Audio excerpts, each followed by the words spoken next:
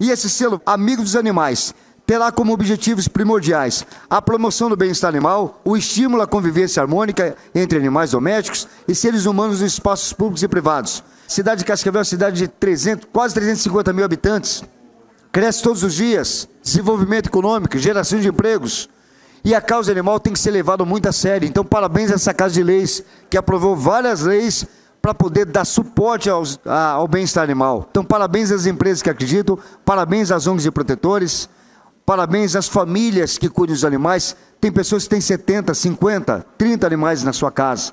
Faz a sua parte. E tem pessoas que abandonam os animais. Rigores da lei.